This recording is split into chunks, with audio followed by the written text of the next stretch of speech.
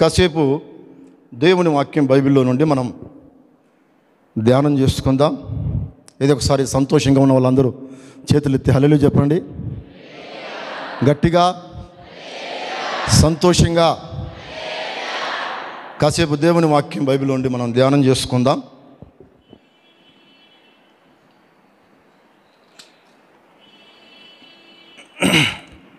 పరమగీతముల గ్రంథం పరమగీతముల గ్రంథం. పరమగీతము అనే గ్రంథం మొట్టమొదటి అధ్యాయము. తొమ్మిదో వాక్యాన్ని ఎవరైనా ఒకరు గట్టిగా చదివి సహాయం చేయండి.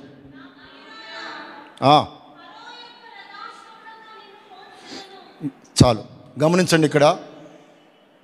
సొలోమోను రచించిన ఈ పరమగీతం నా ప్రియురాల ఫరో యొక్క రథాస్వములతో నిన్ను పోల్చుదును అని ప్రియుడు ప్రియురాలికి లేఖ రాస్తూ ఉన్నాడు. ఈ పరమగీతముల గ్రంథం ప్రియుడు ప్రియురాలకు రాసే ప్రేమ లేఖ. కనుక దీన్ని మనము కొంచెం అర్థం చేసుకోవాలి. ప్రేమ లేఖ అంటే మీరు ఎక్కడికో వెళ్ళకూడదు. ఇక్కడ ప్రియుడు సొలోమోన్ ప్రియురాలు సొలోమితి. ఆత్మ సంబంధంగా దీన్ని మనము అన్వయించుకుంటే ప్రియుడు మన ప్రభువైన యేసయ్య ప్రియురాలు సంగమనే మనమే. దేవునికి స్తోత్రం. వల్లులుయా దీన్ని మనం ఆత్మ సంబంధంగా అర్థం చేసుకోవాలి కానీ శారీరకంగా తలంచకూడదు. కనుక ఈ పరమగీతమ గ్రంథం ప్రియుడు ప్రియురాలకు రాసిన లేఖ. ఇక్కడ సొలమోను తన ప్రియురాలకు లేఖ రాస్తూ అంటున్నాడు. నా ప్రియురాల ఫరో యొక్క రథాస్వములతో నిన్ను పోల్చుదును అని మాట్లాడుతూ ఉన్నాడు. తన ప్రియురాలన్నటువంటి సొలోమితిని ప్రియుడు ఫరో యొక్క రథస్వములతో పోలుస్తూ ఉన్నాడు. ఫరో రథస్వలతో పోలుస్తూ ఉన్నాడు. మనం జాగ్రత్తగా మరి గమనిస్తే కొద్దిసేపు ఉపద్ఘాతం చెప్తాను జాగ్రత్తగా వినండి. ఈ సొలోమోను నూట ఐదు గీతాలు రాశాడు. నూట ఐదు గీతాలు. ఇందులో ప్రాముఖ్యమైనదే పరమగీతముల గ్రంథం. ఈ పరమగీతముల గ్రంథంలో ఎనిమిది అధ్యాయులు ఉంటాయి నూట ఎనిమిది వచనాలు ఉంటాయి దీనిని పరలోక గీతం అని కూడా అంటారు. ఏమంటారు?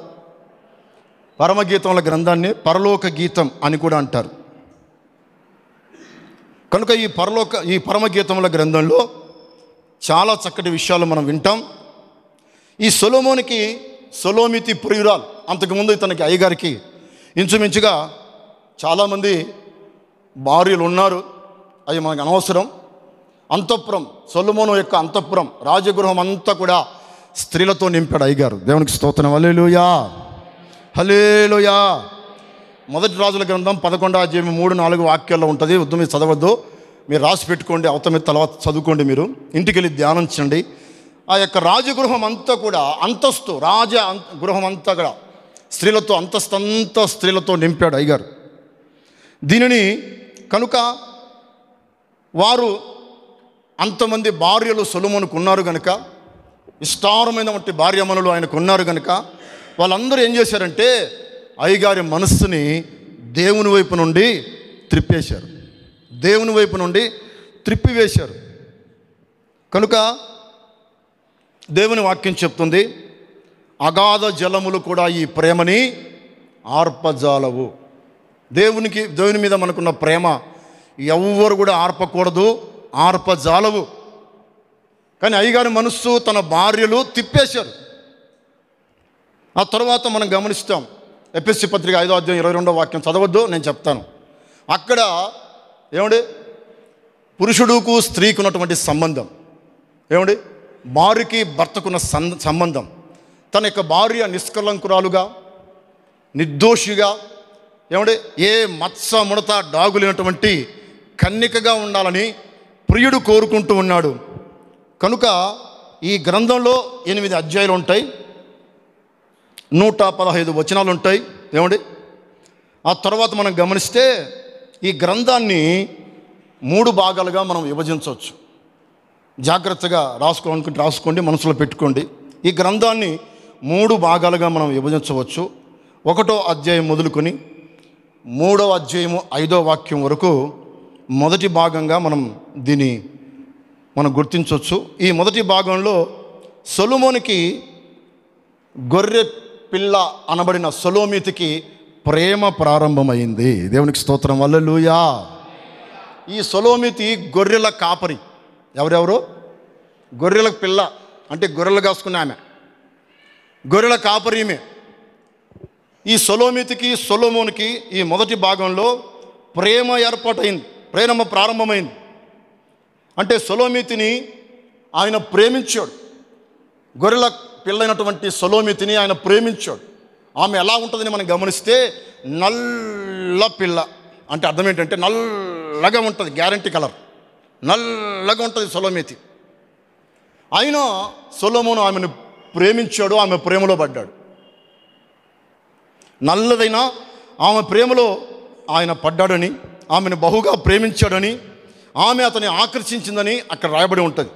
కనుక యోగ్యత లేనటువంటి ఆమెని దేవుడు ఆయన ప్రేమించాడు. ఆయనను సొలుమును ఇష్టపడ్డాడు.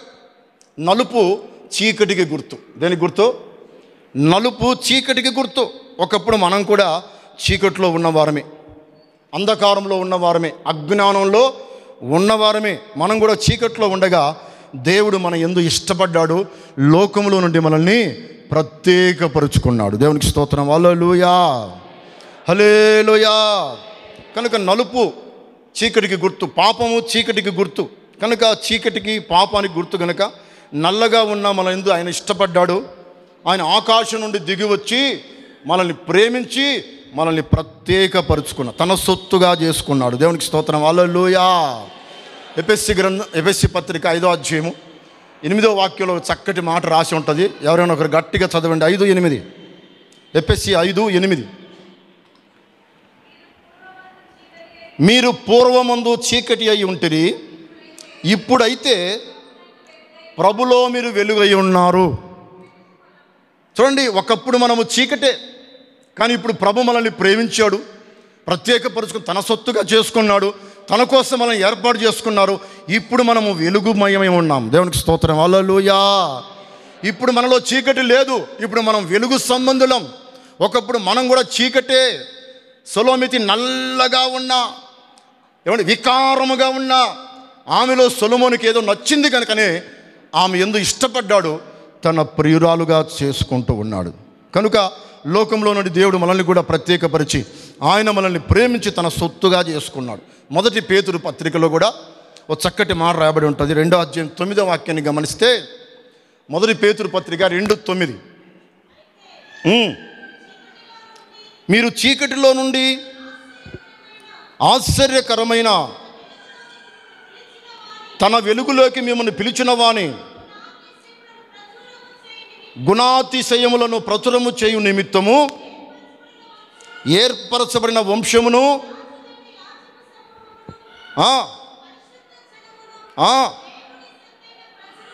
దేవుని సొత్తుగా మనం ఉన్నాం. దేవునికి స్తోత్రం. అలలుయా ఒకప్పుడు మనము చీకటి. అయితే మీరు చీకటిలో నుండి ఆశ్చర్యకరమైన తన వెలుగులోకి పిలువబడ్డారు కనుక ఇప్పుడు మీరు ఆయన సొత్తైన ప్రజలు.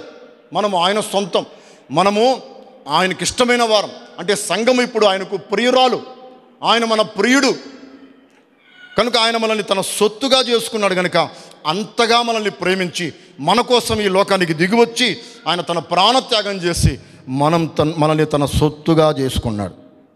రెండవ భాగంలో మనం గమనిస్తే రెండవ భాగంలో ఈ పరమగీతం మూడో అధ్యాయం ఆరో వాక్యం నుండి ఐదో అధ్యాయం ఒకటో వచనం వరకు ఈ రెండో భాగంగా మనం గుర్తించవచ్చు. ఇక్కడ ఆ వాళ్ళు ప్రేమలో పడ్డారు మొదటి భాగంలో. రెండో భాగంలో ఆ ప్రేమ వివాహానికి దారితీసింది ఎంతవరకు దారితీసింది వివాహం వరకు దారితీసింది మీరు ఎక్కడికో పోవద్దు ఇక్కడే ఉండండి మీ ఆలోచనలు ఇక్కడే వాక్యం మీద పెట్టండి. ఏమండి? మనం ఆత్మ సంబంధంగా దీన్ని ఆలోచన చేయాలి. వాళ్ళ ప్రేమ వివాహానికి దారి తీస్తుంది మధ్యలో ఆగిపోలేదు.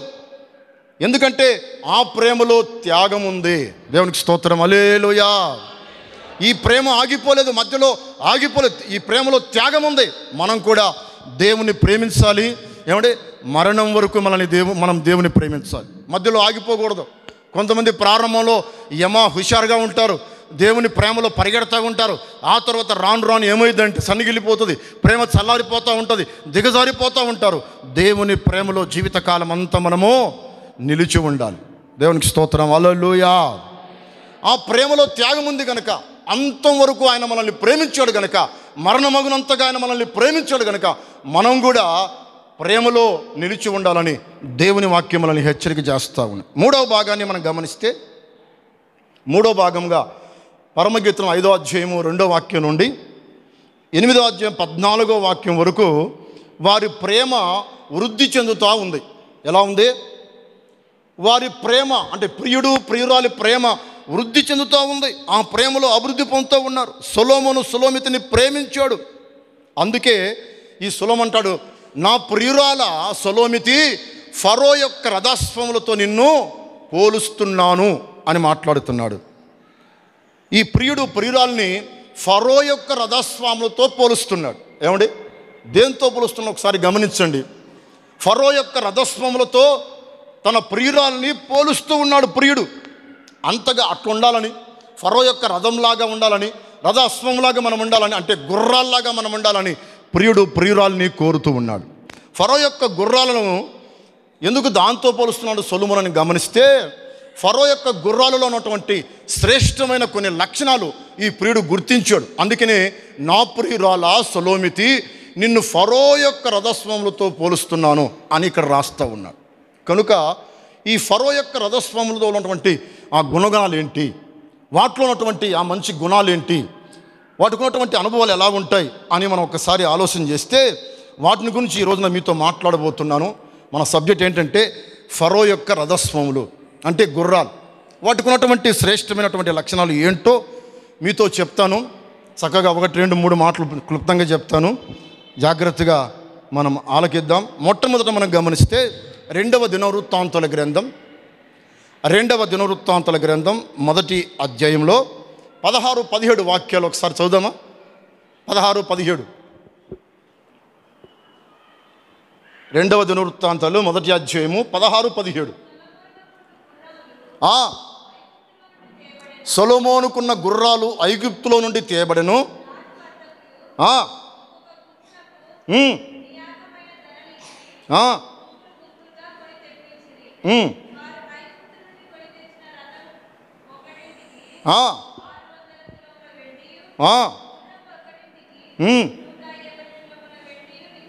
దేవునికి స్తోత్రం. అలేలోయా మీరు ఇక్కడ జాగ్రత్తగా గమనించండి. ఈ సొలోమోని యొక్క గుర్రాల్ని ఆయన ఐగుప్తులో నుండి కొని తెప్పించాడు. ఎక్కడి నుండి తెప్పించాడు? ఐగుప్తులో నుండి తీసుకొచ్చాడు. ఐగుప్తు అనగా లోకం. ఐగుప్తు అనగా పాపం. ఐగుప్తు అనగా చీకటి ఐగుప్తు అనగా అంధకారం. ఐగుప్తులో నుండి సొలమోను ఈ గుర్రాల్ని ప్రత్యేకించి కొన్నాడు. మనం కూడా లోకమనే ఐగుప్తులో ఉన్నవారమే.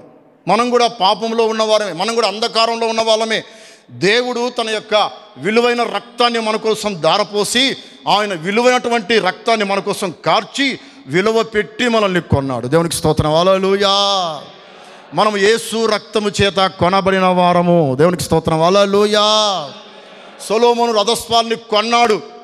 ఐగుప్తుల నుండి తెప్పించాడు. ఏమంటే ఎంతో వెలపెట్టి కొన్నాడు. అప్పట్లో కరెన్సీ లేదు కానీ వెండినిచ్చి కొన్నాడట. దేనిచ్చి కొన్నాడు? అప్పట్లో కరెన్సీ లేదు. లేదేమో అనుకుంటా. వెండి పెట్టి కొన్నాడు. విలువైన వెండినిచ్చి కొన్నాడు. ఎన్నో మనుగుల వెండి ఇచ్చి కొన్నాడు.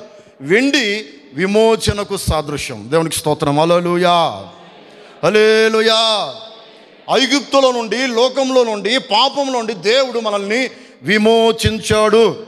మనం ఇప్పుడు ఎవరమంటే విమోచించబడిన వారం. దేవునికి స్తోత్రం. వాళ్ళలుయా హలేలుయా కనుక మనం దేవుని చేత విమోచించబడ్డాం. ఐగుప్తులోంచి మనల్ని కొన్నాడు. ఈ ప్రియురాలు ప్రియురాలని ప్రియుడు ఐగుప్తులో నుండి తెప్పించుకున్నాడు. విలువ పెట్టి కొన్నాడు. తన సొత్తుగా చేసుకోవడానికి దానికోసం ఏమంటే దాన్ని విమోచించి తన సొత్తుగా చేసుకున్నాడు. దేవునికి స్తోత్రం. అల్లలుయా కనుక ప్రియురాల్ని ప్రత్యేకించి తెప్పించుకున్నాడు. కనుక మనం కూడా ఒకప్పుడు లోకంలో ఉన్న వారమే. మీరు చదవద్దు కానీ చెప్తాను. వశే గ్రంథంలో రాయబడి పదకొండు అధ్యాయం మొదటి వాక్యం తర్వాత ఇంటికి వెళ్ళి చదువుకోండి. పదకొండు మొదట్లో ఉంటుంది. ఏమంటే ఇస్రాయేలు బాలుడై ఉండగా ఇస్రాయేలు బాలుడై ఉండగా నేను అతని పిలిపించి తిని అని రాస్తాడు. నేను అతన్ని పిలిపించుకున్నాను. నా కోసం పిలుచుకున్నాను నా కోసం ప్రత్యేకపరుచుకున్నాను నా బిడ్డగా నా కుమారుడిగా ఉండడానికి అతను నేను పిలుచుకున్నాను అంటాడు దేవుడు అక్కడ. కనుక మనల్ని దేవుడు ప్రత్యేకంగా పిలుచుకున్నాడు లోకంలోంచి మనల్ని ఏర్పాటు చేసుకున్నాడు.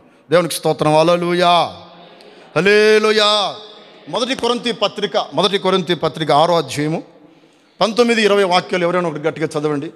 ఆరో అధ్యాయం పంతొమ్మిది ఇరవై వాక్యాలు.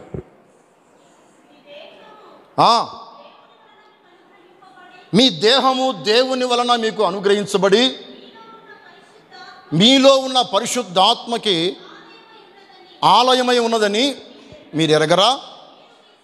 మీరు మీ సొత్తు కారు మీరు విలువ పెట్టి కొనబడిన వారు కనుక మీరు మీ దేహముతో దేవుని మహిమపరచాలి. దేవునికి స్తోత్రం. వల్ల మనం ఎందుకోసం దేవుడు ప్రత్యేకపరుచుకున్నాడంటే మనము దేవుడు విలువ పెట్టి ఎందుకు కొన్నాడు అంటే మన దేహముతో దేవుని మహిమపరచడానికి మనము దేవుని స్తుతించడానికి దేవుని నామాన్ని గణపరచడానికి ఆయన మనల్ని ప్రత్యేకించి కొన్నాడు. మనము మన సొత్తు కాదు ఆయన సొత్తుగా మనల్ని చేసుకున్నాడు కనుక మనం ఆయన గణపరిచే వారంగా ఉండాలి. ప్రతి ఆదివారం ప్రతి ఆదివారం ప్రతిరోజు ప్రతి ఉదయం దేవుని స్థుతించువారుగా మనం ఉండాలని ఆయన లోకంలోంచి మనల్ని ప్రత్యేకించబడి ఆయన మనల్ని విమోచించుకున్నాడు. దేవునికి స్తోత్రం. వాళ్ళలోయా కనుక నీవు నీ సొత్తు కాదు.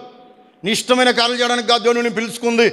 నీవు ఆయన చిత్తం చేయాలి ఆయన గణపరచాలి ఆయన మహింపరచాలని దేవుడు లోకంలోంచి మనల్ని అందరినీ ప్రత్యేకపరుచుకున్నాడు. కనుక మనం అందరం కూడా దేవుని స్థుతించేవారంగా దేవుని నామాన్ని గణపరచువారుగా ఆయన కొనియాడవారంగా ఉండాలని ఆయన కోరుతూ ఈ ఉదయకాలం అంతా చెప్తున్న సందర్భం. దేవునికి స్తోత్రం. అలలుయా హలేలుయా మరొక చోట రాయబడి ఉంటుంది మీరు ఎవరంటే గొర్రెపిల్ల రక్తము చేత కొనబడిన వారు. మొదటి పేతురు పత్రిక. మొదటి పేతురు పత్రిక. త్వర త్వరగా చదవాలి కొంతమంది. మొదటి అధ్యాయము పద్దెనిమిది పంతొమ్మిది వాక్యం. మొదటి అధ్యాయం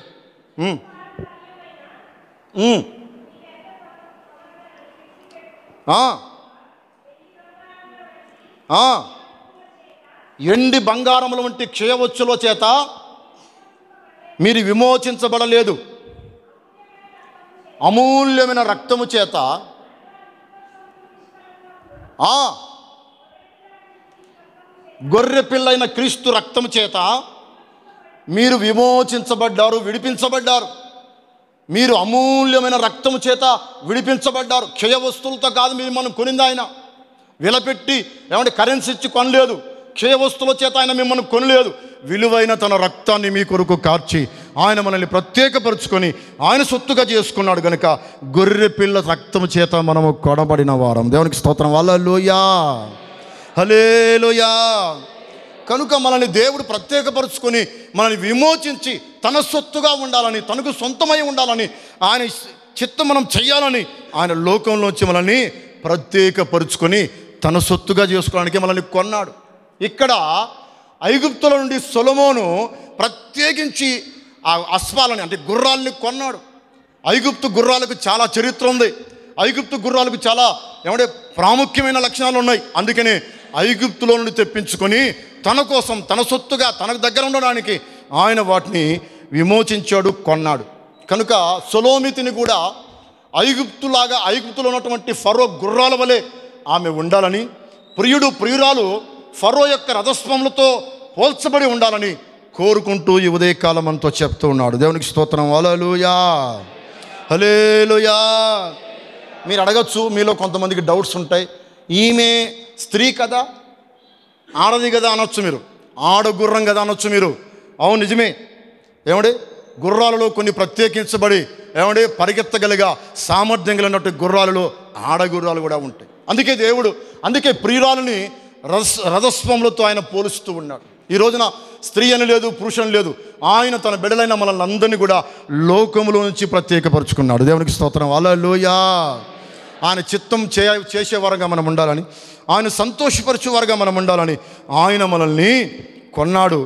ఆయన మనల్ని ఆకర్షించుకున్నాడు. ఇప్పుడు మనం ఆయన ప్రేమలో నిలిచి ఉండాలని ఆయన మరొక్కసారి నేను హెచ్చరిక చేస్తూ ఉన్నాడు కనుక ఇప్పుడు నీవు ఫరో యొక్క రథస్వముల వలె ఉండాలి విమోచించబడిన ఆయన వస్తువై ఉండాలని ఆయన దగ్గరే నువ్వు ఉండాలని ఆయన చెప్పింది నువ్వు చేయాలని ప్రియుడు ఆశపడుతూ ఉన్నాడు. దినవృత్తాంతాల రెండవ గ్రంథంలో కూడా ఇరవై తొమ్మిదో అధ్యాయం పదకొండో వాక్యంలో త్వర త్వరగా ఒకరు చదవండి. ఇరవై తొమ్మిది పదకొండు. దినవృత్తాంతల రెండవ గ్రంథం. ఇరవై తొమ్మిది పదకొండు. తనకు పరిచారకులై ఉండి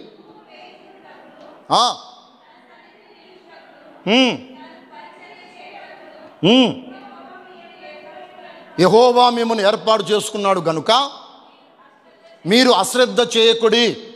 చూసారా దేవుడు మనల్ని ప్రత్యేకపరుచుకున్నాడు ఏర్పాటు చేసుకున్నాడు లోకంలోంచి మనల్ని పిలుచుకున్నాడు. ఎందుకంటే ఆయన పరిచారకులుగా మనం ఉండాలని ఆయన చిత్తం మనం చెయ్యాలని ఆయన చెప్పిందలా చేయాలని ఆయన పని మనం చెయ్యాలని ఆయన మనల్ని పిలిచాడు కనుక అశ్రద్ధ చేయకూడి. దేవునికి స్తోత్రం. అలలుయా గుర్రాలు శ్రద్ధ అశ్రద్ధగా ఉంటాయా? శ్రద్ధగా ఉంటాయా? గుర్రాలు బలమిగలుగా ఉంటాయి బావుగా పరిగెడతాయి శ్రద్ధ కలిగి ఉంటాయి. ఏమంటే గుర్రాలు దేనికైనా సిద్ధపడి ఉంటాయి. మనం కూడా దేవుని కార్యాలలో దేవుని విషయాలలో అశ్రద్ధ చూపకుండా దేనికైనా సిద్ధపడి ఉండాలని ఈ ఉదయకాలం దేవుడు మనతో హెచ్చరిక చేస్తూ ఉన్నాడు. దేవునికి స్తోత్రం. వాళ్ళలుయా కనుక ఒకటి గుర్రము విమోచించబడిన దేవుని యొక్క వస్తువు. ప్రియుడు ప్రియురాలైనటువంటి తన యొక్క ర- తన యొక్క రథస్వమును పోల్చున్నటువంటి ఆ ప్రియురాల్ని ఐగుప్తులో నుంచి ప్రత్యేకపరుచుకున్నాడు. విమోచించుకున్నాడు. రెండో మాట చెప్తాను. రెండో మాట కూడా గమనిస్తాం. యోపు గ్రంథం ముప్పై తొమ్మిదో అధ్యాయం పంతొమ్మిదో వాక్యాన్ని మనం చదువుదాం. యోబు గ్రంథం ముప్పై తొమ్మిది పంతొమ్మిది. గుర్రమునకు నీవు బలముని చితివా?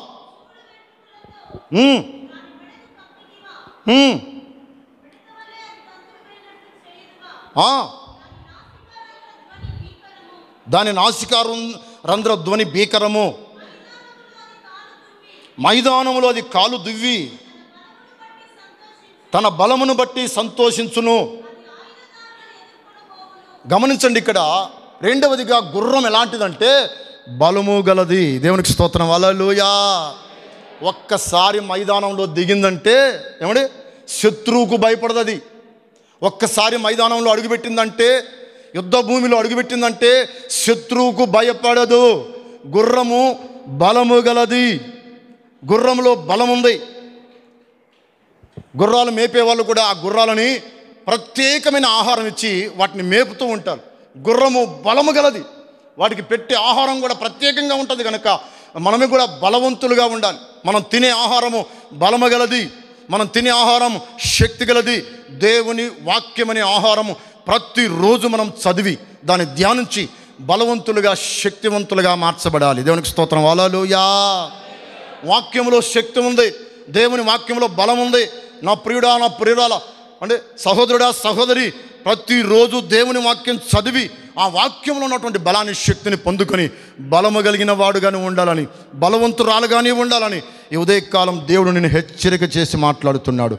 కనుక బుల గుర్రము బలమైనటువంటి జీవి. దేవునికి స్తోత్రం. అలలుయా హలేలుయా ఒక్కసారి అది అడుగుపెట్టిందంటే యుద్ధభూమిలో దేనికి భయపడదు? శత్రువుకు భయపడదు ఖడ్గానికి భయపడదు ఎదురుగా వస్తున్నటువంటి దేనికి కూడా భయపడకుండా బలముతో దూసుకుపోతుంది. మనం కూడా ప్రభు మందు ఏమంటే రక్షణ పొందాం. ప్రభులోకి వచ్చాం. దేవుని తెలుసుకున్నాం. దేవుని బిడ్డలుగా మార్చబడ్డాం. ఈ లోకంలో ఎదురయ్యే దేనికి మనము భయపడకూడదు. దేవునికి స్తోత్రం. అలలోయా హలేలుయా దేనికి భయపడకూడదు. శ్రమ అయినా కరువైనా ఖడ్గమైనా ఏమంటే శత్రువు పోరాడుతూ ఉన్నా శ్రమలకు నేను గురి చేస్తూ ఉన్నా నువ్వు భయపడనక్కరలేదు. నీ యజమానుడు బలవంతుడు. దేవునికి స్తోత్రం. అలలుయా మనం ఆయన వైపు చూసి బలవంతులుగా ఉండాలి. ఆత్మీయ జీవితంలో ముందుకు పరిగెత్తాలని దేవుని వాక్యం ఉదయకాలం మనం హెచ్చరిక చేస్తుంది కనుక. దేవుని వాక్యం శక్తి గలది. కనుక మనం కూడా శక్తిమంతులుగా ఉండాలి. ఈ గుర్రాల్ని మేపే వాళ్ళు కూడా బలమైన ఆహారం పెట్టి మేపుతారు. వాటికి పెట్టి ఆహారంలో ఏదైనా ఒక వస్తువు మీకు గుర్తుంటే చెప్పండి. గుర్రానికి ఏం ఆహారం పెడతారు? గుర్రాలకి ఏం ఆహారం పెడతారు? చెప్పండి. ఒక్కటన్నా మీకు గుర్తుందా? నేను చెప్తాను నేను పిల్లప్పుడు చూశానుగా చెప్తున్నాను. గుర్రాలకి ఎక్కువగా ఉలువలు పెడతారు. ఏం పెడతారు? ఉలువలు. మీరు ఎప్పుడైనా ఉలవలు తిన్నారా? ఉలవలు ఆరోగ్యాన్ని ఇస్తాయి ఉలవలు శక్తిని ఇస్తాయి. ఏమండి? ఈ రోజున వ్యర్థమైన ఆహారము. ఏమండి? ఫాస్ట్ ఫుడ్ తిని బయట బజార్లో అనేకులు అనారోగ్యాలు పాలవుతున్నారు. మనం తినాల్సిందే వ్యర్థమైన ఫాస్ట్ ఫుడ్లు కాదు. ఉలవలు తినండి మీకు ఆరోగ్యం కలుగుతుంది. దేనికి స్తోత్రం. అలలుయా హలేలుయా ఉలము ఉలవలు ఇస్తే బలముని శక్తిని ఇస్తాయి ప్రతిరోజు సాయంత్రం ఉలవలు ఉడకబెట్టి నేను తింటాం. ఇంకా తెలుసా? చాలామంది విజయవాడ స- ప్రాంతాలకు వెళ్తే ఉలవల రసం ఎక్కువ తాగుతూ ఉంటారు. ఉలవచారు ఎక్కువ గిరాకీ ఉంటుంది అక్కడ. కారణం ఏంటంటే అది కిడ్నీని శుద్ధి చేస్తుంది. ఉలవచారు కిడ్నీని శుద్ధి చేస్తుంది. బలమైన ఆహారం ఉలవ ఉలవలు ఉలవచారు కనుక వాటిని తినాలి కానీ వ్యర్థమైన వాటిని తింటున్నాం ఈ రోజున. మనం యొక్క తినే విషయంలో ఆహార విషయంలో మనకు శ్రద్ధ లేదు కనుకనే అనేకమైన రోగాలు బాధలు సమస్యలు మనల్ని చుట్టుముడుతూ ఉన్నాయి. మనం తినాల్సిన ఆహారము బలమైన ఆహారాలే మనం తినాలి. దేవునికి స్తోత్రం. అలలుయా అన్నిటికంటే బలమైనది దేవుని వాక్యం. దేవుని వాక్యం ప్రతిరోజు మనం చదివి ఆ వాక్యం ధ్యానించి వాక్యమనే ఆహారం తింటే మనం బలవంతులుగా శక్తివంతులుగా మార్చబడతాం. దేవుడు మిమ్మల్ని అందరినీ బలవంతులుగా చేయునుగాక. మనం బలవంతులుగా ఉండాలంటే దేవుని వాక్యం అనే ఆహారం ప్రతిరోజు చదివి ధ్యానించాలి. రెండవ తిమోతి పత్రిక రెండవ తిమోతి పత్రిక రెండవ అధ్యాయం మొదటి వాక్యం చదువుకుందాం.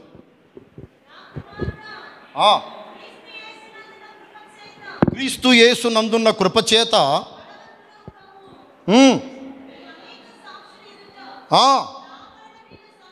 నా వలన వినిన సంగతులను ఇతరులకు బోధించుటకు.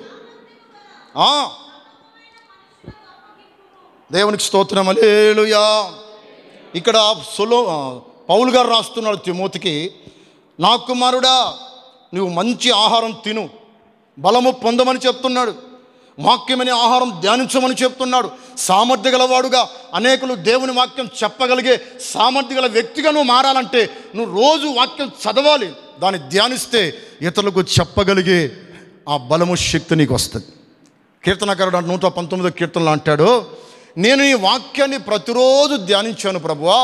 ఆ వాక్యం ధ్యానించటం వలన ఏమంటే ఉపదేశకులకే నేను వాక్యం చెప్పే బలాన్ని దేవుడు నాకు ఇచ్చాడు దేవునికి స్తోత్రం. హలే హలేలుయా కనుక మనం ప్రతిరోజు వాక్యం చదవాలి. ఓసన్న విశ్వాసులు అంటే ఇక్కడే మీరు విశ్వాసులు బయటికి వెళ్తే మీరు సేవకుల్లాగా ఉండాలి. దేవునికి స్తోత్రం. హల్లెలూయా. మనం ఎవరు అంటే బలవంతులం. దేవుని వాక్యం బాగా ఎరిగిన వారంగా ఉండాలి. బైబిల్లో ఓ సంఘం ఉంది. ఆ సంఘము చాలా బలమైనదని విలువైన సంఘం అని రాయబడి ఉంటుంది. ఆ సంఘస్థులట వాక్యము చదువుటలోను వాక్యం ధ్యానించుటలోను గనులై ఉన్నారు. ఏ సంఘం అది? బెరయా సంఘం. దేవునికి స్తోత్రం. అలలుయా హలేలుయా కనుక వాక్యం అనే బలమైన ఆహారము ప్రతిరోజు మనం తిని ధ్యానిస్తే ఆ వాక్యం చదివి ధ్యానించుకుంటూ ఉంటే బలవంతులుగా మనం మార్చబడతాం. కనుక వాక్యం ఎందు మనం బలవంతులుగా ఉండాలి. నూట నాలుగవ కీర్తనలో కీర్తనకారుడు చక్కటి మాట కూడా చెప్తాడు. ఇరవై ఒకటో వాక్యం చదువుకుందాం. నూట నాలుగవ కీర్తన ఇరవై ఒకటో వాక్యం. ఆ.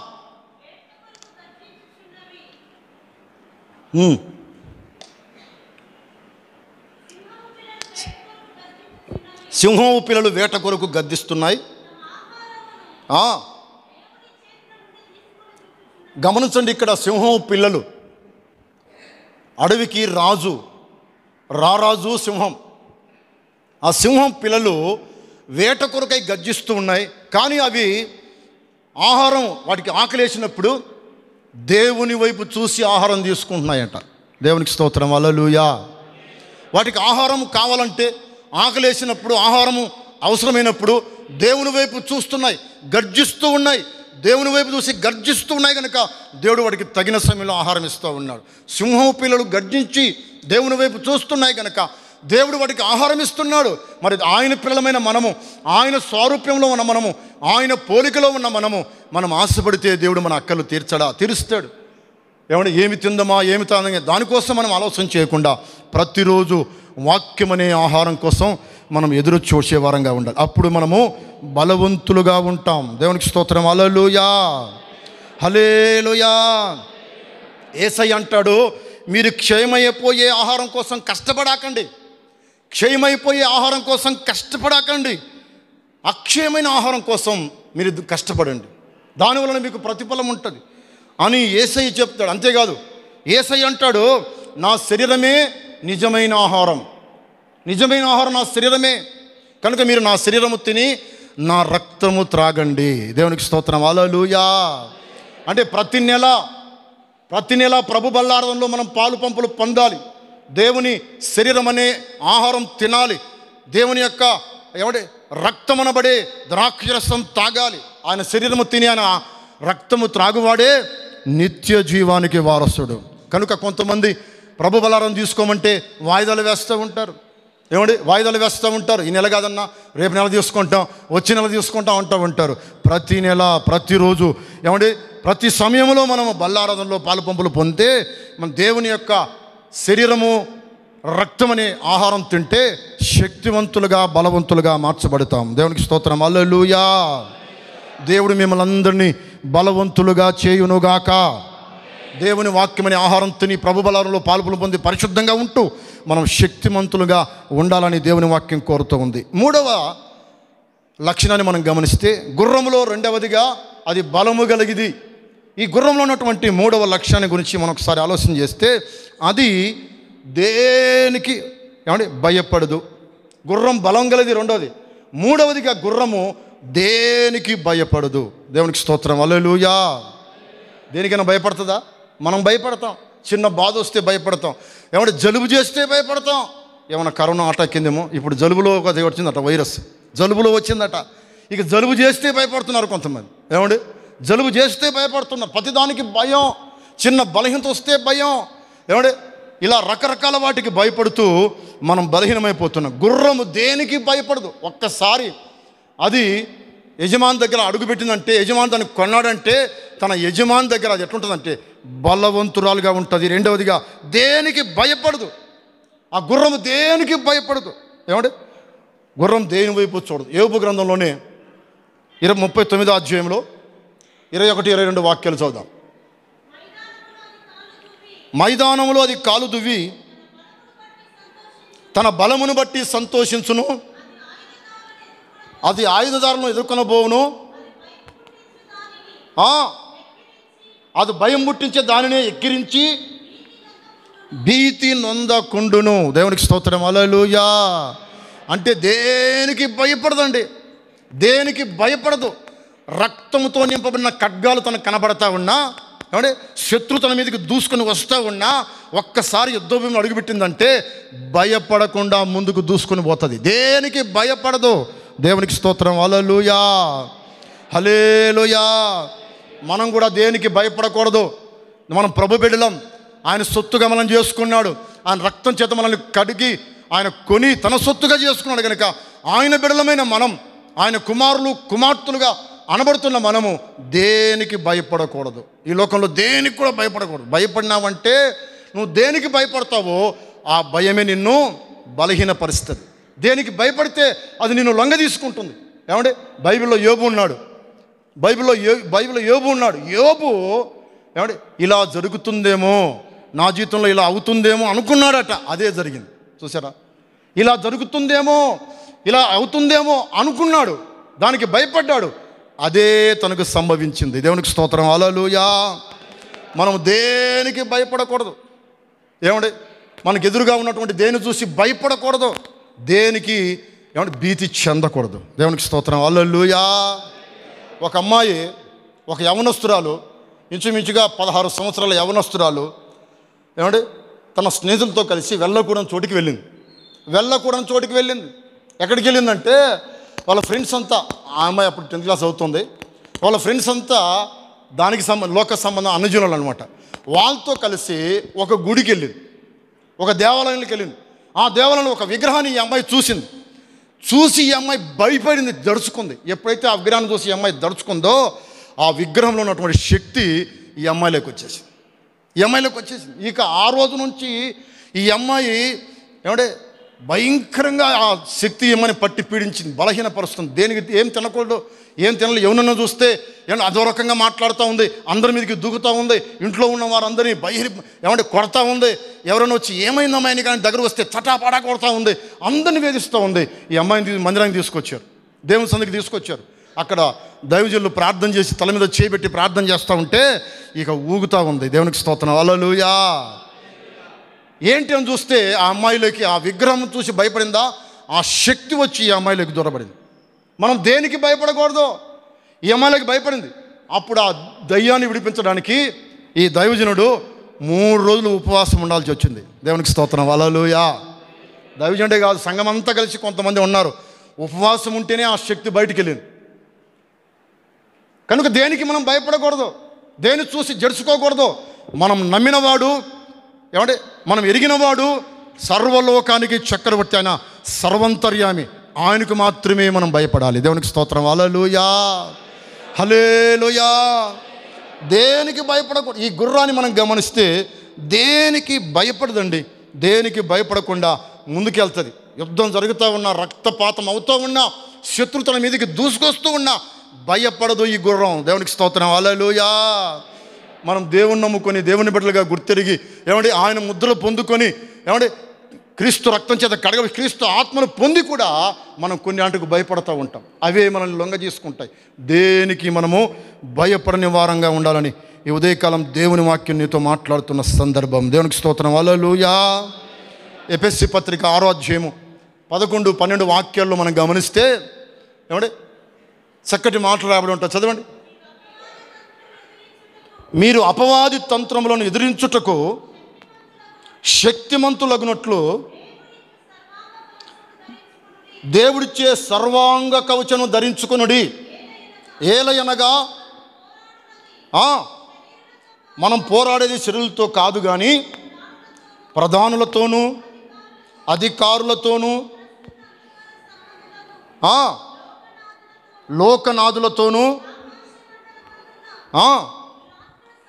దురాత్ముల సమూహములతోనూ మనం పోరాడుతున్నాం. కనుక మనం ఏం చేయాలంటే సర్వాంగ కవచము ధరించుకోవాలి. ఏం ధరించుకోవాలి? సర్వాంగ కవచం. ఈ రాజకీయ నాయకులు పెద్ద పెద్ద ఏమంటే దేశ నాయకులు ఏం చేస్తారంటే వాళ్ళకి ఎక్కడైనా సరే వాళ్ళ మీద ఏ దాడి జరగకుండా ఉండడానికి బుల్లెట్ ప్రూఫ్ ధరిస్తారు. ఏం ధరిస్తారు? Bullet proof. వాళ్ళకు ప్రమాదాలు ఉంటాయి. శత్రు పోరాటాలు ఎక్కువ. వారి మీదకి ఎవడైనా అటాక్ చేయకుండా వారి మీద ఏమంటే బాంబు దాడి చేయకోకుండా లేకుంటే పిస్టల్తో దాడి చేయకోకుండా ఉండటానికి వాళ్ళు బుల్లెట్ ప్రూఫ్ ధరిస్తారు. అంటే కవచం వేసుకుంటారు. కానీ మనకున్నటువంటి కవచం ఏంటంటే సర్వాంగ కవచం. అంటే ప్రతి అవయవానికి నీ శరీరం అంతటికి సర్వాంగ కవచం. పరిశుద్ధాత్మ అభిషేకం. దేవునికి స్తోత్రం. అలలుయా హలేలుయా మీరు బలవంతులుగా ఉండాలంటే శక్తిమంతులుగా ఉండాలంటే మీరు దేనికి భయపడకుండా ధైర్యంగా ముందుకెళ్ళాలంటే పరిశుద్ధాత్మనే సర్వాంగ కవచం మీరు ధరించాలి. దేవునికి స్తోత్రం. అలలుయా మీరు ఆత్మను పొందితే బలవంతులుగా ఉంటారు శక్తిమంతులుగా ఉంటారు దేనికి భయపడరు. సాతన్గాడు గర్జించు సింహములే మీ ఎదుట నిలబడుతూ ఉన్నా వాని మీరు గద్దిస్తారే తప్ప భయపడరు. దేవునికి స్తోత్రం. అలలుయా అంతటి బలం మీరు పొందుకోవాలంటే సర్వాంగ కవచమనే పరిశుద్ధాత్మను మనం ధరించుకుంటే మనం బలవంతులుగా శక్తిమంతులుగా ఉంటాం. కనుక నా ప్రేమైన వారులారా మనం పరిశుద్ధాత్మని సర్వాంగ కవచం ధరించుకొని శక్తిమంతులుగా మారి ముందుకు పరిగెత్తాలని విశ్వాస జీవితంలో పరుగు పందెంలో ముందుకెళ్ళాలని దేవుని వాక్యములని హెచ్చరిక చేస్తుంది. కనుక ఈ గుర్రం విమోచించబడింది. రెండవది ఈ గుర్రం ఏమంటే బలము కలిగింది. మూడవదిగా ఈ గుర్రము దేనికి భయపడనిది? దేనికి భయపడదు? ఇంకొక మాట చెప్పి నేను ముగిస్తాను. ఇప్పటికే చాలా సమయమైంది. ఇంకా ఒక మాట చెప్తాను. చదవండి. నిర్గమాకాండము పద్నాలుగో అధ్యాయము ఇరవై ఎనిమిదో వాక్యాన్ని మనం చదువుకుందాం. ఆ. వారి వెనుక సముద్రంలోకి దిగి వచ్చిన ఫరో యొక్క సర్వసేనను కప్పివేసను. గమనించండి ఇక్కడ. ఈ గుర్రాలు తన యజమాని యొక్క ఉద్దేశం చొప్పున నీళ్ళలో దిగాయి. నీళ్ళలో దిగాయి. ఎప్పుడైతే గుర్రాలు నీళ్ళల్లో అంటే సముద్రంలో దిగాయో ఇస్రాయేల్ ప్రజల్ని తరుముతూ ఉండగా ఫరో ఈ గుర్రాలని సముద్రంలో దిగాయో జల ప్రవాహాలు వచ్చి ఆ గుర్రాలను ఆ యొక్క నీళ్ళ గుర్రాలన్నింటిని ముంచివేశాయి. జల ప్రవాహాలు గుర్రాలని ముంచివేస్తున్నాయి. అంటే అర్థం ఏంటంటే ఒక ఒక- ఒక పక్క పరవడి దాని మీదకి వస్తూ ఉన్నా సముద్రము జల ప్రవాహాలు వాటి మీదకి వస్తూ ఉన్నా అవి మాత్రం జడవకుండా ముందుకు పరిగెడతానే ఉన్నాయి. దేవునికి స్తోత్రం. అల్లెలూయా జల ప్రవాహాలు వాటిని ముంచుతూ ఉన్నా ప్రాణ ప్రమాదం మిందికి వస్తూ ఉన్నా ఈ గుర్రాలు భయపడకుండా ముందుకు వెళ్తున్న కారణం ఏంటంటే అవి నమ్మకమైనవి. దేవునికి స్తోత్రం. అలలుయా హలేలుయా అంటే ఫరో కోసం ప్రాణం పెడతా ఉన్నాయి.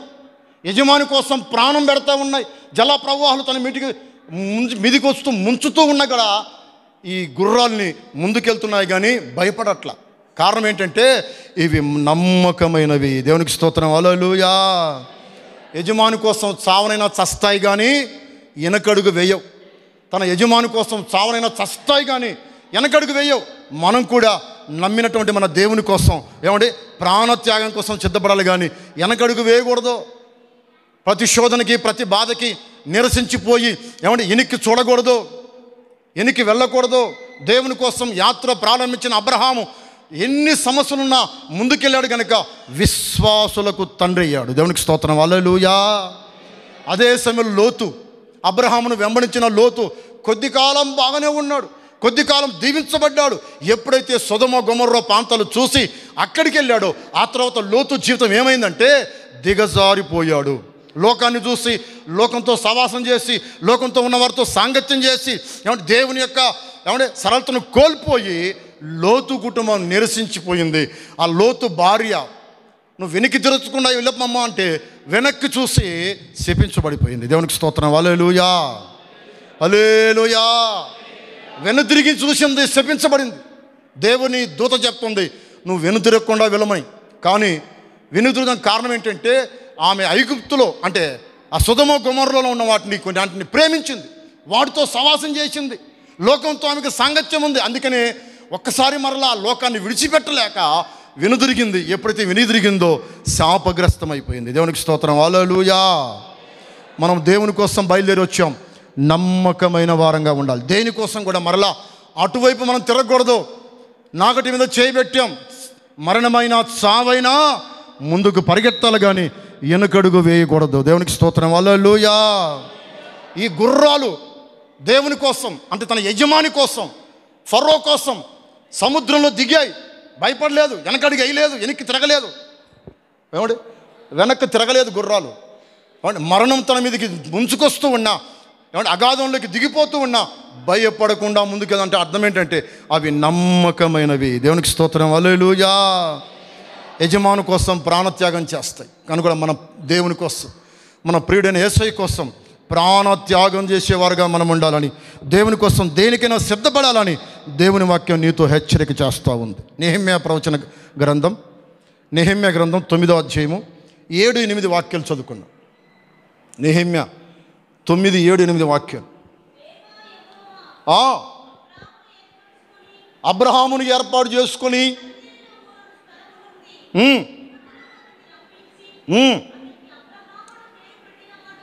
నీవే. అతడు నమ్మకమైన మనసు గలవాడని ఎరిగి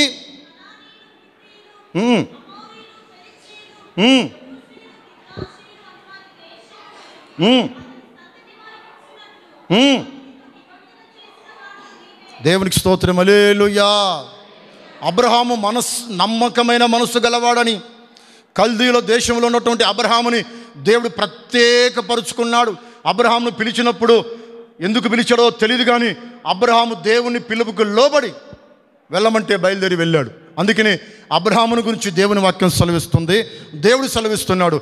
అతడు నమ్మకమైన మనస్సు గలవాడు. దేవునికి స్తోత్రం. అలేలుయా అతడు నమ్మకమైన మనస్సు గలవాడని ఎరిగాడు దేవుడు. అందుకనే అబ్రహాముని లోకంలోంచి ప్రత్యేకపరుచుకున్నాడు. ఈ రోజున మనలో కూడా ఏవో దేవునికి ఇష్టమైనటువంటి స్వభావాలు ఉన్నాయి కనుక దేవుడు లోకంలోంచి మనల్ని ప్రత్యేకపరుచుకున్నాడు కనుక జీవితాంతం దేవునికి నమ్మకమైన వారంగా మనం ఉండాలని నమ్మకమైన దేవునికి తల వంచి నువ్వు జీవిస్తే ఏమంటే విస్తారమైన దీవెన నీకు ఇవ్వాలని ఆయన నీతో మాట్లాడుతున్నటువంటి సందర్భం. ఇరవై ఐదవ మత్తయి వార్త ఇరవై ఐదో అధ్యాయము. అక్కడ నమ్మకమైన వారిని కొందని మనం చూస్తాం. ఇరవై ఐదో అధ్యాయం ఇరవై ఒకటో వాక్యాన్ని చదువుకుందాం. మత్తయి సువర్తమానం. అతని యజమానుడు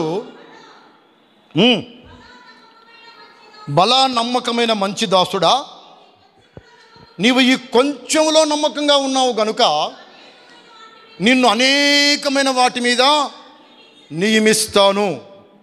మనం కొంచెంలో కూడా నమ్మకంగా ఉండాలి.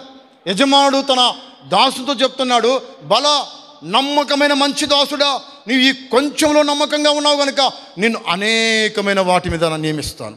మనం కొంచెంలో కూడా నమ్మకంగా ఉండాలి. మనం దేవుని బిడలం లోకంలోంచి ప్రత్యేకించబడిన వారం. మనం లోక సంబంధం కాదు లోకంతో మనకు సంబంధం లేదు. మనం ఆయన విమోచించుకున్నాడు కనుక మనము దేవుని కోసం జీవిస్తూ ఉన్నటువంటి ఈ రోజుల్లో మనము కొంచెములో కూడా నమ్మకస్తులుగా ఉండాలని నమ్మకస్తులకు దేవుడు విస్తారమైన దీవెనలు ఇవ్వాలి. అనేకమైన వాటి మీద నేను నియమించాలని ఆయన నీతో మాట్లాడుతున్న సందర్భం. కనుక నీవు నమ్మకస్తుడుగా ఉండాలి. దేవుని విషయాలలో మందిర విషయాలలో ప్రార్థన విషయాలలో ఏమంటే స్థుతి ఆరాధన విషయాలలో దేవునికి ఇచ్చే విషయాలలో దేవుని గణపరిచే విషయాలలో నమ్మకస్తుడుగా నమ్మకస్తులుగా ఉన్నావా? మనం నమ్మకస్తులుగా ఉన్నామా? అని దేవుడు ఈ ఉదయకాలం మనం ప్రశ్నిస్తున్నాడు.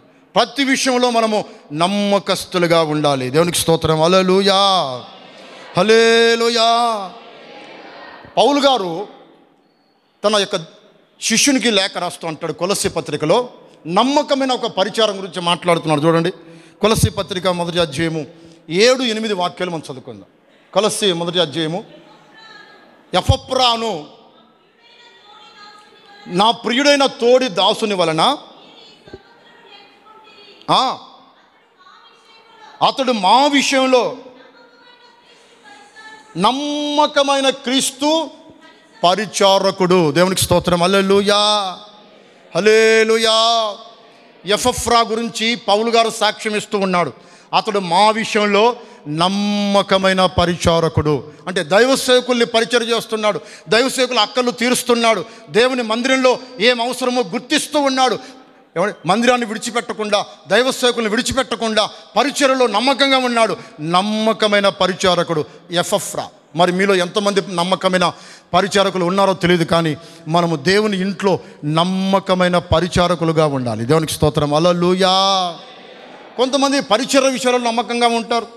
కొంతమంది ప్రార్థనా విషయాలలో నమ్మకంగా ఉంటారు. కొంతమంది దేవునికి ఏమంటే ఇచ్చే విషయాల్లో నమ్మకంగా ఉంటారు. దేవుని సేవకు దేవుని మందిరానికి సహాయం చేసి ఏమంటే సహాయపడుతూ ఉంటారు. వారిని చూసి దేవుడు సంతోషిస్తూ ఉంటాడు. మనం కొన్నిసార్లు నమ్మకస్తులుగా కనబడాలి. నమ్మకస్తులుగా కనబడాలి.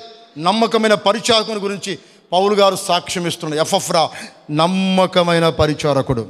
ఆ మధ్య కాలంలో ఒక దైవజనుడు ఒక ఆమె గురించి సాక్ష్యం ఇస్తూ ఉన్నాడు. ఒక దైవజనుడు ఓ ప్రాంతంలో వాక్యం చెప్పడానికి ఫ్లైట్లో ప్రయాణం చేసి వెళ్ళాడట. ఫ్లైట్లో ప్రయాణం చేసి వెళ్ళాడు. వెళ్ళి అర్జెంటుగా టైం అవుతుందని చెప్పి ఈయన ఫ్లైట్ దిగి ఏమంటే ఒక కారు ఆటో ఆటో కారు బాడుకు మాట్లాడుకొని అద్దె కారు తీసుకుని వెళ్తున్నాడు. మందిరం దగ్గరికి వెళ్ళేసరికి ఒక స్త్రీ బకిడి పట్టుకొని ఎదురుగా వచ్చింది. వచ్చి బకిడి పక్కన పెట్టి అయ్యారు వందనాలండి అని చెప్పి. అమ్మ వందనాలు. అని అన్నాడు. అని ఈయన లోపల నేను తల ఉంచుకుంటే ఏమంటుంది? అయ్యగా నన్ను గుర్తుపట్టారా? అని అడిగింది. లేదమ్మా అన్నాడు. నన్ను గుర్తుపట్టారా? అని అడిగింది. లేదమ్మా అన్నాడు. ఎక్కడ చూశానమ్మంటే మీరు వచ్చిన ఫ్లైట్లో నేను కూడా వచ్చానయ్యా అని చెప్పింది. దేవునికి స్తోత్రం. వలలుయా అవునా అమ్మా? నేను గమనించలేదమ్మా. ఎక్కడున్నారు? మీరు ముందున్నారా? వెనకున్నారా? అని అడిగాడు. లేదయ్యా నేను ఫ్లైట్ నడిపే ఏమండి? నేను ఫ్లైట్ నడుపుతానయ్యా అని చెప్పింది. ఆ అమ్మాయి. ఆశ్చర్యపడ్డాడు ఈయన. మరి సరేనమ్మా ఏంది బకెట్ పట్టుకున్నామంటే లేదండి నేను త్వరగా వచ్చి అర్జెంటుగా నేను ప్రతి ఆదివారం వచ్చి ఈ మందిరంలో బాత్రూమ్లు కడుగుతానండి అని చెప్తుంది ఆమె. మందిరంలో బాత్రూమ్లు కడుగుతాను. ఒక ఫ్లైట్ నడిపే ఏమంటే ఒక ఫైలెట్టే బాత్రూమ్లు కడుగుతూ ఉంటే మన పరిస్థితి ఏంది? ఏమంటే మన పరిస్థితి ఏంది? మనం దేవునింట్లో ఏ పరిచయం చేస్తున్నాం? ఏ దేవునింట్లో ఏ పని చేస్తూ ఉన్నాం? దేవునికి ఉపయోగపడుతున్నామా? ఆమె బాత్రూమ్లు కలగడానికి బకెట్ తీసుకెళ్తుంటే ఈ దైవజనుడు కలనిండా నిలబెట్టుకుని నీళ్ళు పెట్టుకుని ఏడుస్తున్నాడు. అయ్యో నేను వాక్యం చెప్పడానికి వచ్చానే. ఆమెలాగా పరిచర్య చేసి ఆ స్తోమత నాకుందా? నేను అంత నమ్మకంగా ఉన్నాను అని చెప్పి ఈయన అనుకున్నప్పుడు ఈయన మనస్సాక్షి ఇతనే గద్దించి కన్నీళ్ళు పెట్టి ఏడుచుకున్నాడట. దేవునికి స్తోత్రం. అలలుయా ఈ వాక్యం చెప్పడానికి కూడా నేను యోగ్యుని కానని అనుకుంటున్నాడు ఆయన. చూసారా? ఎంత నమ్మకమైన వారుగా ఉన్నారు దేవుని సన్నిధిలో. ఆమె ఒక ఫైలట్గా ఉండి దేవుని ఇంట్లో పరిచయం చేస్తాం నా వంతు పని నేను చేయాలి దేవుని కోసం వెళ్ళి కూర్చొని వాక్యం వినడం కాదు. నేను దేవుని పని చెయ్యాలి అని దేవుని పని కోసం ఆరాటపడుతుంది ఆమె. ముందుగా వెళ్ళి బాత్రూంలో కడిగి ఆ తర్వాత శుభ్రం తను శుభ్రం చేసుకొని మళ్ళా ఏమంటే మరలా ప్రిపేర్ అయ్యి వచ్చి కూర్చొని వాక్యం వింటూ ఉంది. అలాంటి నమ్మకమైన వారిని చూసి దైవజనులు ఏమండి? సంతోషపడుతున్న ఉప్పొంగుతూ ఉన్నారు. మనం కూడా దేవుని సన్నిధిలో నమ్మకమైన వారంగా ఉండాలి. దేవునికి స్తోత్రం. అలలుయా హలేలుయా ఎంతవరకు నమ్మకంగా ఉండాలంటే ఏమండి? మరణమగునంతగా మన నమ్మకస్తులుగా ఉండాలి. మరణమగునంతగా మన నమ్మకస్తులుగా ఉండాలి.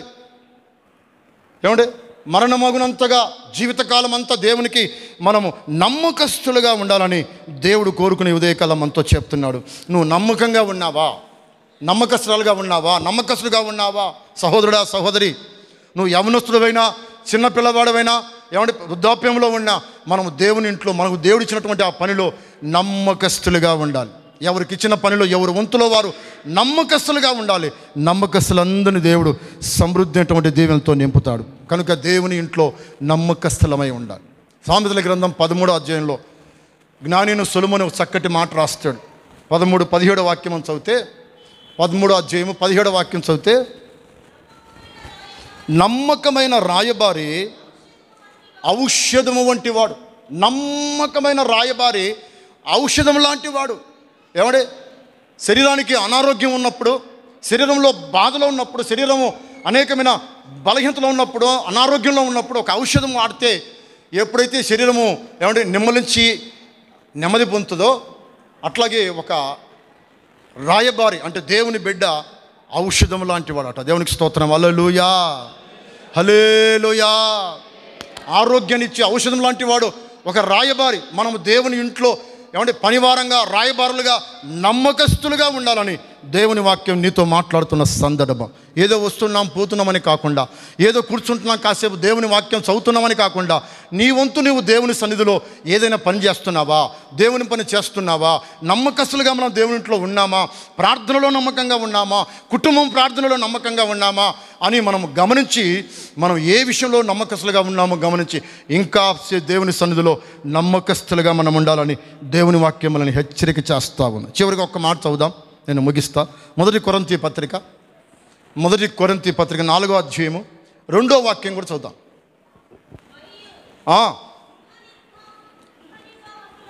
గృహ నిర్వాహకులలో ప్రతి వాడును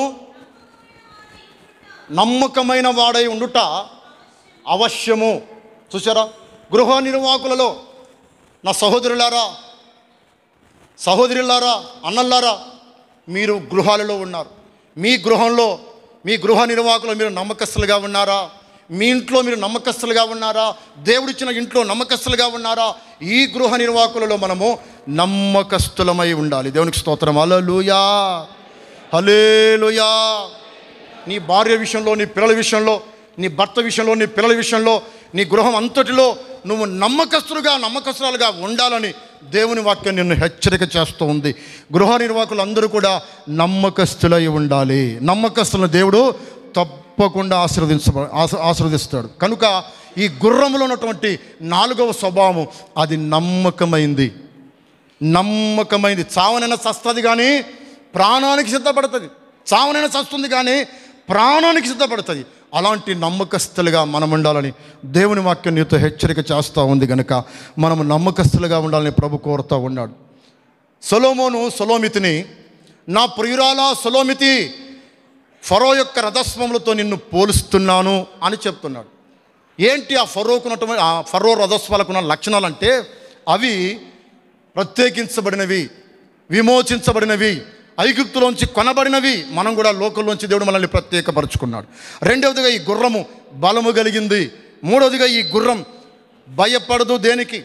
నాలుగవదిగా ఈ గుర్రం నమ్మకమైనది. మనం అలాంటి వారంగా ఉండాలని ఈ సంఘాన్ని చూసి ప్రియుడు ప్రియుడైనటువంటి ఏసయ్య తన ప్రియురాలైన సులోమితి ఏమంటే తన ప్రియురాలైనటువంటి సంఘంతో చెప్తున్నాడు నా సంఘస్థులు నా సంఘం ఎలా ఉండాలంటే నమ్మకమైందిగా ఉండాలి.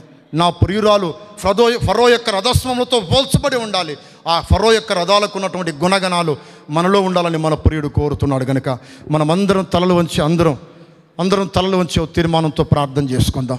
ఈ ఉదయకాలం ఫరో యొక్క రథస్వములతో దేవుడు మన ప్రియుడు మనల్ని పోలుస్తూ ఉన్నాడు.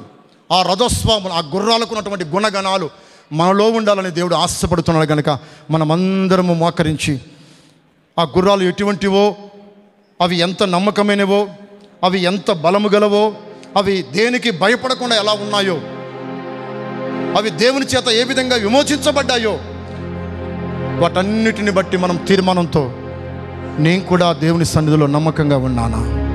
నేను కూడా నా దేవుని ఇంట్లో నమ్మకస్తురాలుగా నమ్మకస్తునిగా ఉన్నానా? విశ్వాస విషయంలో బలవంతునిగా ఉన్నానా? శక్తి కలిగి ఉన్నానా? దేనికి భయపడకుండా ఉన్నానా? లేకుంటే ప్రతి దానికి పిరికి హృదయం కలిగి ఉన్నానని మనల్ని మనమే విమర్శించుకుంటూ దేవుని సన్నిధిలో తీర్మానంతో ప్రార్థన చేసుకుందాం. ఎవరికి వాళ్ళే ప్రభుకు అప్పగించుకొని. ఓ తీర్మానంతో ప్రార్థన చేసుకుందాం.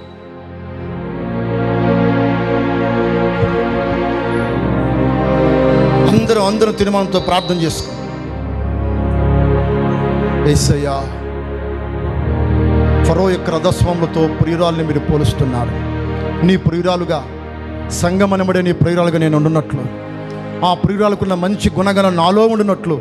మీ కృపణ దయచేయమని అందరం ప్రార్థన చేసుకుందాం. బహు సౌందర్య సియోనులో స్తుతి సింహాసనాసీనుడా. బహు సౌందర్య సియోనులో సింహాసనాసీనుడా. నా యేసై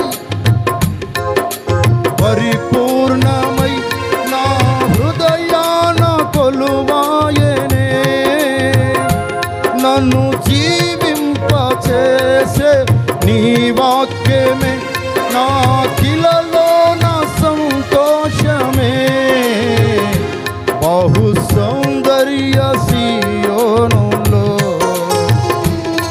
స్తుతి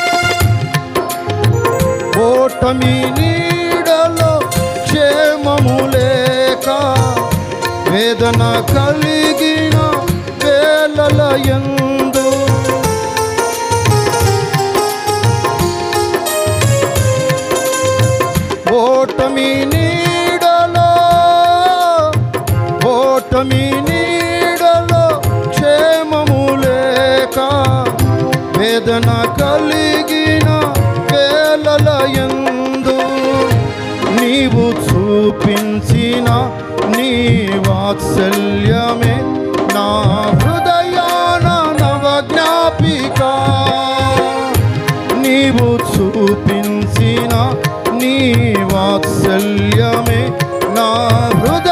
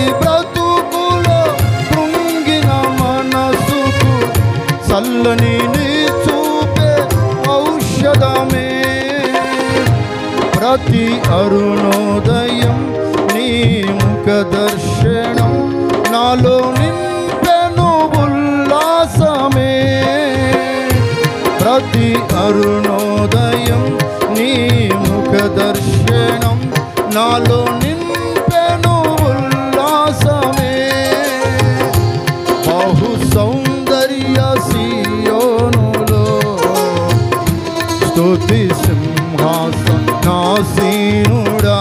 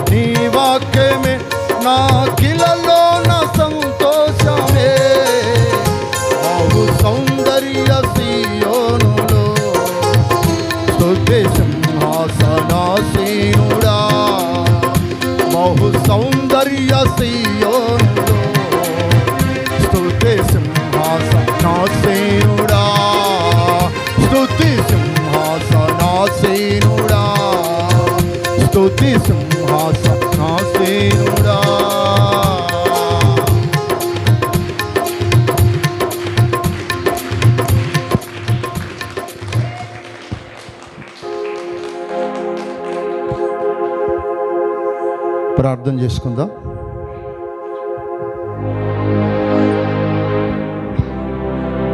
పరిశుద్ధుడా ప్రేమ గల తండ్రి మీ పరిశుద్ధ పాదములకు స్తోత్రాలు చెల్లిస్తున్నాము నాయన.